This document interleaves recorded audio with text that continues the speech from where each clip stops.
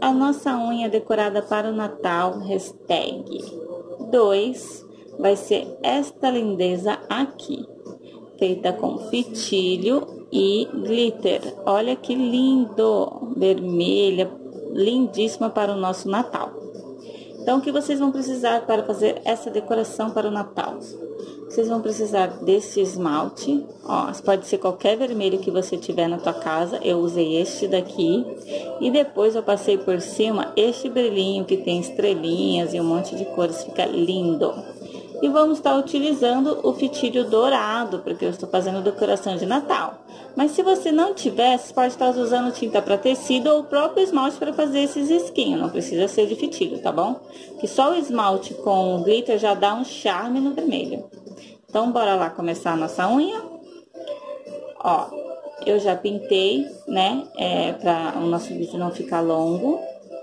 E agora eu vou cortar um pedacinho do fitilho. Então, ele é igual aquela fitinha crepe. Você acha a pontinha e corta o pedaço. Eu gosto de já pôr na unha e aí cortar. Então, vou fazer juntinho com você. Ó, você vai pôr ele. Aí, você vai colocar do jeitinho que você quiser. Eu gosto dele assim, tipo francesinha. Mas aí vai de gosto. Você pode pôr na diagonal, do jeito que você quiser. Aí agora eu vou cortar um pedacinho. E vamos colocar o segundo fitilho, né? Que eu fiz com dois. Não precisa ficar retinho, não, tá? É só para dar uma graça na sua unha. Ó. É ideal o esmalte tá bem sequinho, tá bom? Porque você vai ter que grudar, às vezes você pode errar, tirar para poder pôr de volta. Ó. Então, aqui a gente corta direitinho. Vou cortar essa rebarbinha aqui. Viu? Cortei. Aí você dá uma no canto. Se for na sua aqui, como eu tô fazendo a unha postiça, né, é mais fácil. Mas se for no cantinho da sua unha, você vem com um palitinho e, e pressiona para ele não descolar. E vai passando o palitinho assim em cima, ó. Para ele poder fixar bem na unha. Feito isso, agora a gente vai vir com o nosso glitter. Vai ficar mais bonita ainda a nossa unha.